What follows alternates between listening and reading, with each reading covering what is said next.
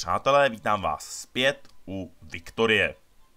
No, chtěl bych vám říct, že válka, která nás čeká, to znamená válka prakticky proti všem, kdy naším jediným spojencem je Rakousko, eh, nedopadne dobře.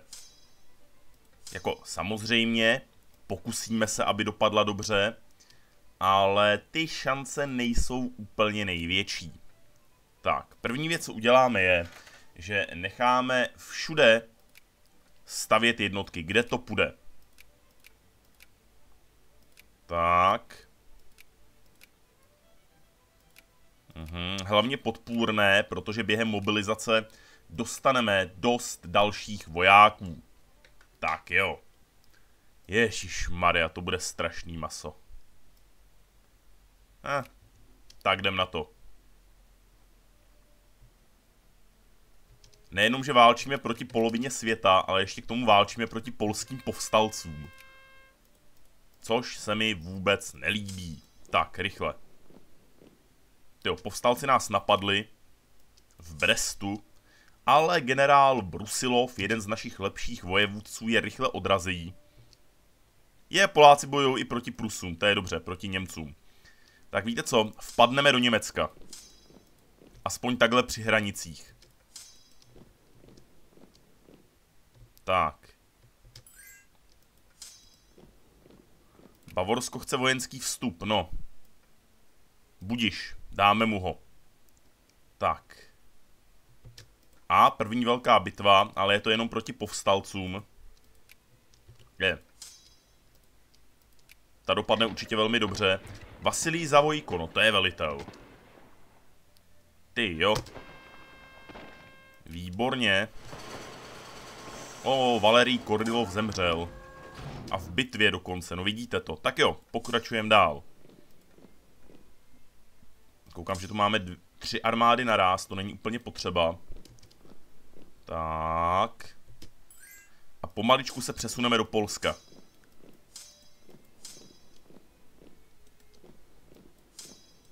Takže ty armády tu vlastně nakonec necháme. Dobře. Rakousko chce vstup, to dostane. A Řecko, jak se zdá, už není ve sféře vlivu Británie, protože jsme Brita Brity vyhnali. Výborně, tak jo, pokračujeme dál. Jednu armádu, pravděpodobně druhou řadovou, pošleme na Královec.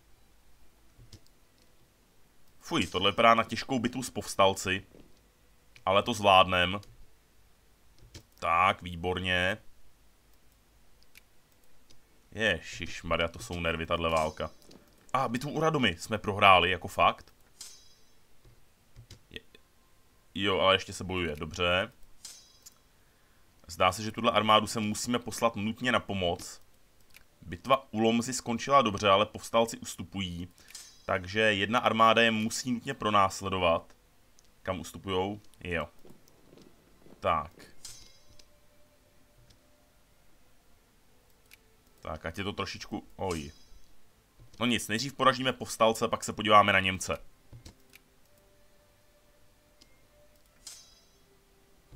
Tak, jak vypadá tady obléhání všude, velmi dobře se bojuje. Jo, dobře, tak teď rychle musíme pomoct. Uh, Rakušanům v Mazovsku u Varšavy. Naše severní armáda, kde vrchním velitelem asi budeme jim jmenovat hmm, Buďoného, to je hezké, postupuje dál Pruskem. No ale celkově vzato. No já radši ani nechci vidět, jak to je celkově vzato. Tak, kde máme zálohy? Budeme je soustředit někde tady. Aha. Jak to vypadá na dálném východě, velmi dobře. Aha, Britové zatím nikde moc neotravujou, ale ono k tomu dojde. Počítám, že i brzy. Tak, snad naše posily stihnou dorazit. Ježišmarja, tady je těch rebelů ještě víc, tak rychle na pomoc. Tak, ano, první bitva proti Němcům u Varšavy. A probíhá, no, překvapivě dobře. Nepřátelský generál Mansfeld sice není úplně špatný, ale myslím si, že náš velitel, respektive náš spojenecký velitel je lepší. Tak, bitva u Varšavy skončila. Varšavu rychle osvobodíme od polských povstalců. Ach jo, osvobozujeme Varšavu, to je nádherný. Tak jo. Dobrý, Varšava je osvobozená, tak rychle kupředu.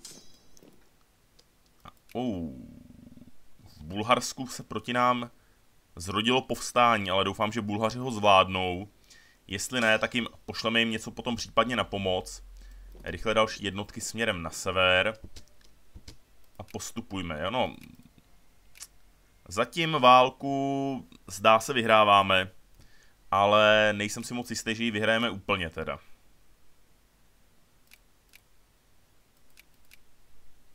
Hm. Stačil by nám docela v klidu bílý mír, ale nevadí. Tak, výborně. Královec spadl, takže jdeme na Gdaňsk. Těchto dvou armád, myslím, že tady nebude potřeba další pomoc.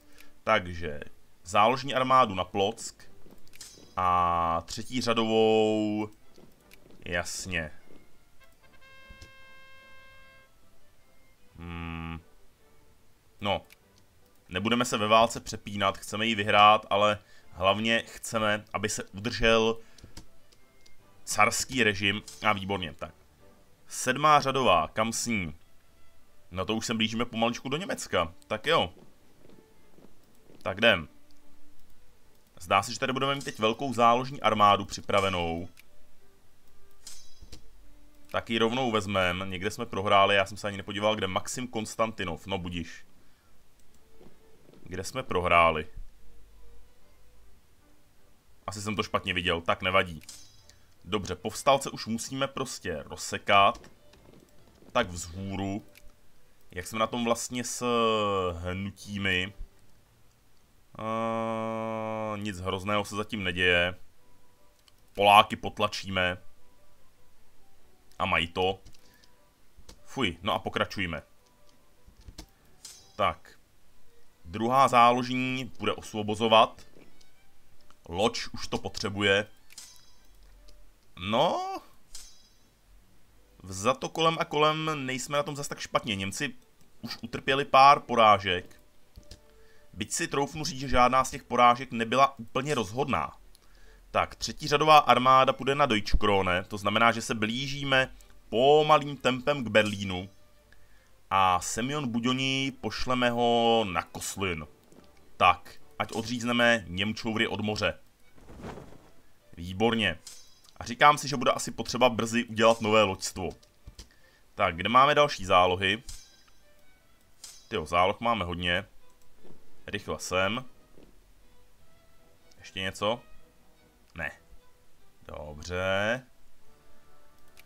Boha jeho, to je strašný. Tak. Nebo vyhrávají oni? Myslím, že vyhráváme my. Tak.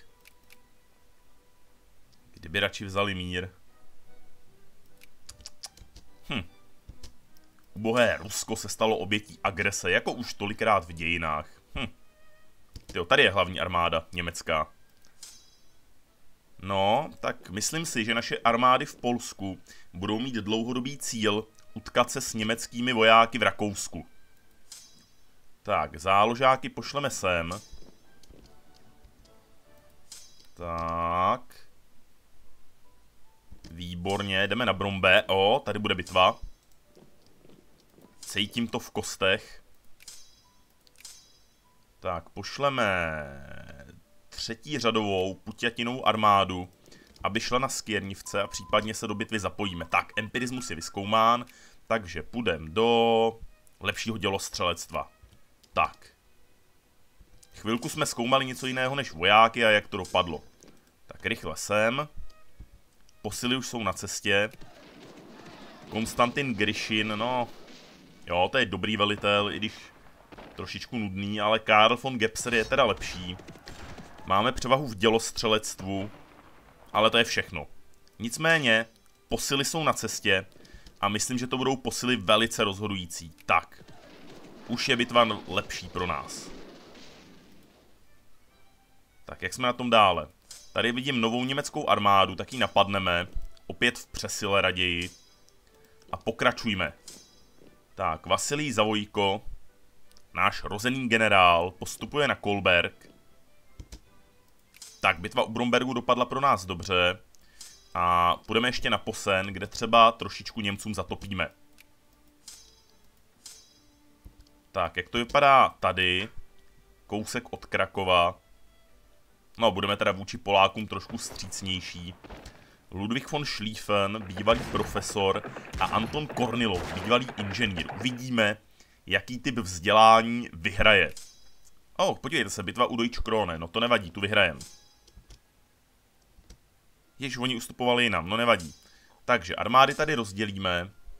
Tu záložní dáme na hnězdno, protože přeci jen nechceme záložáky v první linii a první řadová armáda v celku odvážně vyrazí na Kistrin. Tak.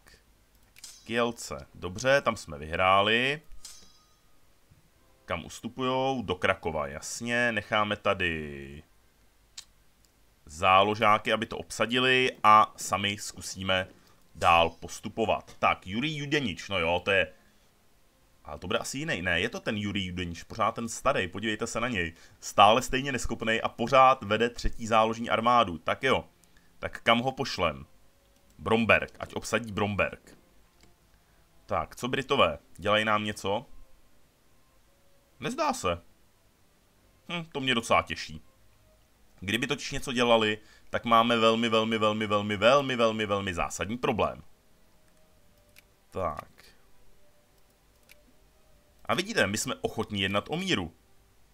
Ani nic nechcem. No nevadí. Tak jo. Oh, oh, oh. Koukám, že bychom měli možná ještě na Kistrin poslat jednu armádu, než jak to tady je. Hmm.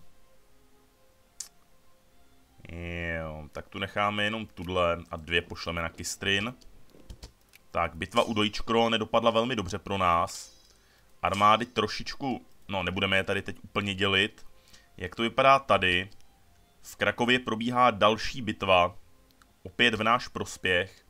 Byť velkou roli v tom teda hraje to, že máme přesilu. Tak. Jedno vojsko už míří dál. Další záložní armáda taky. A uvidíme, co bude potřeba nadále. Tak. Jak to vypadá? Vypadá to tak, že Čechy padly. Ale nebojte se, ruská armáda už se tam blíží. A to velmi rychle. Tak, co vy tady máte obsazeno? Takže Kornilov na Štětín a Jegorov. Jo. Už jsme v Braniborsku, chlapci. hm. Ale teda jenom proto, že do toho nezasáhli zatím Britové. Kdyby zasáhli, tak jako nevím. Tak. Zatím vítězíme, spravedlnost vítězí a ano, Semyon Budoní táhne na Berlín. Tak, jak to vypadá? Bitva v Bělsku, výborně, německá armáda je zlikvidovaná a my se pomaličku podíváme na Olomouc. Tak, už tam posíláme i posily, jak vidíte. Byť teda nevím, jestli bychom měli v Olomouci útočit, asi počkáme. Bylo by to dost velké riziko. Jako Rakousko se hroutí, ale to nevadí, hlavně, že se nehroutíme my. Tak. Jak to vypadá? Vypadá to dobře, severní fronta je klidná. Jo, takže z Kistrinu můžeme vzít dvě armády a pošleme je do Sleska, kde brzy dojde k velké bitvě. Už dochází. Takže naše druhá armáda může bezpečně napadnout Olomouc, dáli Bůh.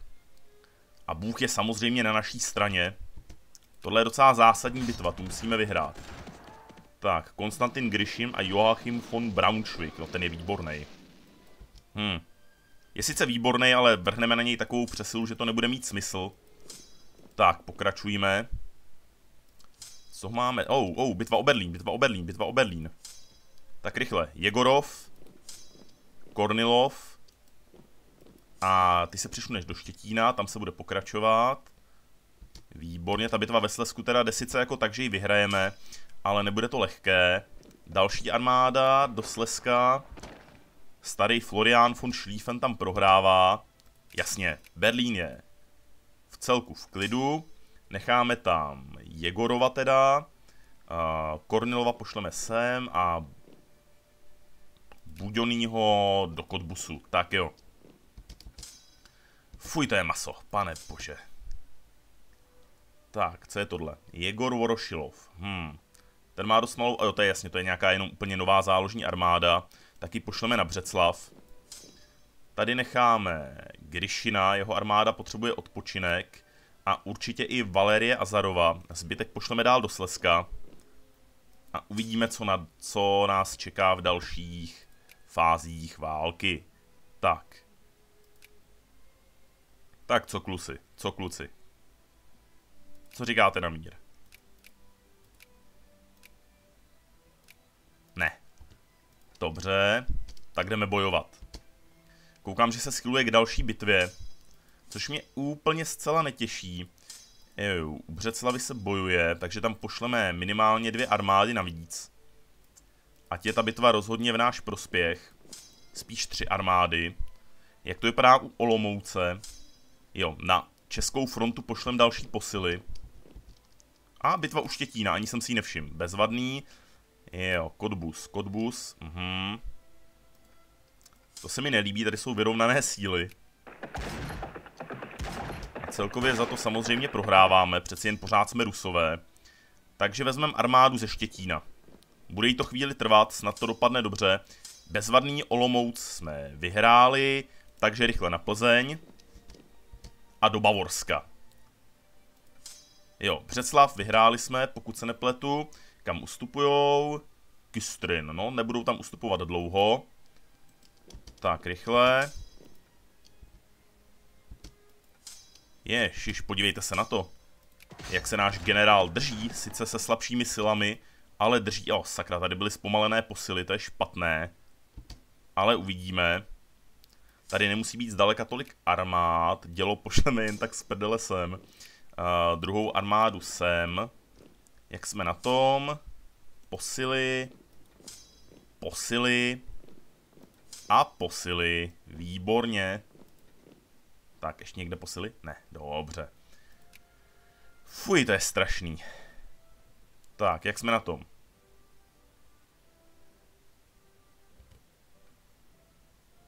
Koukám, že naše válečné skóre trošku kleslo. Uh, nevadí.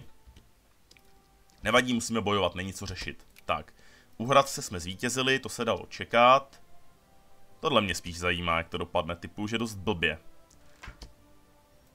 Ale to nevadí, to nevadí. Tohle ta bitva prostě, když dopadne špatně, jakože dopadne špatně, tak to nevadí. Ano, dopadla špatně.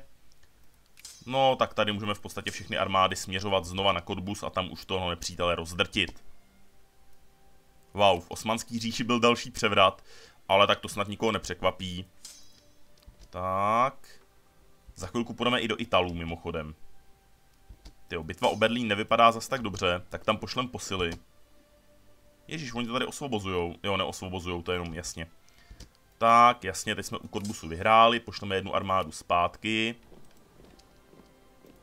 Tak, a tady se trošičku rozlezem.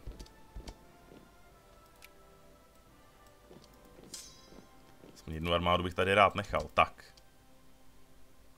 Výborně, bitva o Berlín. Zdá se jde docela dobře, pošleme tam posily. Tak. Slezko už je takřka naše. Bitva o Plzeň, nádhera. Fuj. Berlín padne, za chvilku. Tak, to znamená, že pošleme čtvrtou záložní, aby osvobozovala okolí Berlína. Osvobozujeme samozřejmě uh, od zlého německého režimu, který si neváží míru. A když jsme u toho, tak se asi budeme muset vrhnout na Itali. A to velice brzy. Tak, nejprve porazíme Němce v Regensburgu. Když oni to ještě něco Němci, co? To je jenom severoněmecký spolek. No tak výborně. To je dobře, pomůžeme našim bratrům Bavorům. Jo, tady musíme zarazit tady tu německou armádičku. Uh, teď se z Berlína vydáme dalšími směry. Jo, tady tu armádu, která je víceméně záložní, tak pošleme na Prahu a potom z Prahy na Linec. Aha, tyhle dvě armády pošleme na Grác. Tuhle pošleme na Maribor. No a začneme chystat ofenzivu proti Itálii. Tak jo. Jak jde válka? Protože tak blbě, no, protože jasně, no. Jasně, no. Italové naplňují jeden ze svých válečných cílů, což je pro nás dost pitomé z hlediska vedení války, ale to nevadí, protože Itali odrazíme, neboť Němci, Němci jsou na pokraji zhroucení. Tak, tuhle armádu přesměrujeme taky na Itálii. Tady není moc na výběr už. Mhm. I když možná tady těch 13 tisíc mužů a těhle 21 ještě necháme v Čechách, čistě pro jistotu. To nevím, tady útočit, ale jo. Sakra, utekli nám Italové. Tak rychle na Mnichov. Jak jsme na tom v Německu? V Německu jsme na tom velice, velice, velice dobře. Jako až takovým tím způsobem, že Němci prostě už válku prohráli. Tak ne, budeme se soustředit radši tady. Tak. I když ne, rovnou tady uděláme frontovou linii. Nebo se o to alespoň pokusíme. Tak. Jasně, další vítězství, ale zatím jenom takové maličké. Oj, bitva u Magdeburgu. To se vyřeší, ještě nevím jak. Posly nám trošičku scházejí, ale ona ta bitva jde dobře. Jo, bitva jde docela dobře. Jsou to jenom malé německé armádičky, no už jsme vyhráli. Berlín za chviličku zase vyklidníme. 41 tisíc mužů pošleme do Berlína. Další na jich. Tak jo. Tady zřídíme další frontové stanoviště. No tak, snížíme si válečné vyčerpání. Tohle je špatný. Tak jo, tady máme jedno vítězství. A pošleme jednotky do Lince. Tak. A pak na Benátky rovnou. Tak jo. Fuj. Tak, co tahle 30 tisícová armáda, jasně ta vyžene Němčoury, to je důležité. Tadle si s tím pak poradí, jak to vypadá tady, tady to vypadá blbě, za chviličku padne Anhalt, jasně, Halle. Rychle zpět. Aha. Pozitivní. Maličká bitva. Prenslav, Alexej Lazarev umřel. Toho si pamatuju dokonce. Kdo ho asi nahradil? No asi ten první, to znamená Nikotaj Golivin. No dobře. Nikolaj Golivin. Mhm. Tak, armáda z Kodbusu může jet sem. Fuj. Jako naše hlavní fronta by teď měla být pomaličku Itálie. Ne, že bych jako Němcům nevěřil, oni pořád klidně bordel nadělají, když na to přijde. Ale Itálie je teď dost kritická. Jak to vypadá tady, tuhle armádu necháme u Olomouce, až ho osvobodíme, tak půjdeme hezky do Slezska. Jak vypadá tahle bitva? Vypadá dobře. Tady postupujeme. Musíme hlavně... Jasně. Tak. Jako za Napoleona, chlapci. tak jo. Tak, pokračujeme. Italská armáda je na ústupu, což je velmi dobré. Eh, přesto stále teda prohráváme, no. Co, co, co kde ztrácíme? Co mi kde uniká? Nebo teprve teďka začínáme vyhrávat? Nebo mi uniká naopak to, že teď vyhráváme. Už jsem Viktorii moc dlouho nehrál, sakra. Bych skoro řekl, že teď spíš vyhráváme teprve. No uvidíme, tak jo. Možná nevyhráváme na papíře, ale prakticky za to vyhráváme určitě, jak vypadá tahle bitva. Vypadá tak, že tam potřebujeme posily, ale ty zrovna máme, takže je to dobré. Naše armáda v Bavorsku také slavně vítězí. Aha. Tak. A jdeme na Bergamo. Tak na Bresci, dobře. Aha, tady na Ferraru. Teda jako řekl bych, že Italové jsou docela váji. Možná jsme tam poslali až moc jednotek, takže jdeme do Bavorska s kusem armády. Výborně. A uvidíme. Tak, tady do Slezska. Tady bitvu za chvíli vyhrajeme. Co děláme tady? Osvobozujeme. Výborně. Nic není lepší, než osvobozovat ty, kdo si osvobození nutně nepřejí. Aha. Tahle bitva jde dost špatně. Jo, tady je ta veliká záložní armáda. Bezvadný. Tak, tu pošleme zpátky na Berlín. Tak, výborně. Vás taky. Mhm, tuhle armádu pošleme sem. Svineminde. Ale kluci německý, co tady děláte? Tak. No. Myslím si, že krásně vyhráváme.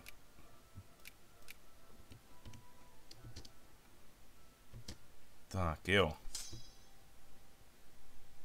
Hmm, zdá se, že se, nás, že se na nás chystá další velká bitva o Berlín. Ale věřím, že dopadne dobře. Tady konec konců máme skoro hotovo. Bezvadné. Tak. Ovšem tohle je horší. Takže musíme poslat posily na Dessau. Místo, které se nám válkou proslavilo už ve válce 30 leté. Výborně. V Dessau je dobojováno. Ale pro nás špatně, což? No to se nedá nic dělat. Tak. Tak zpátky na Berlín. Čeká nás další rozhodující bitva. Tady už je skoro obsazeno, ano. Takže tak a tak. Teda to je nepříjemně velká bitva pro nás, ale vyhráváme ji.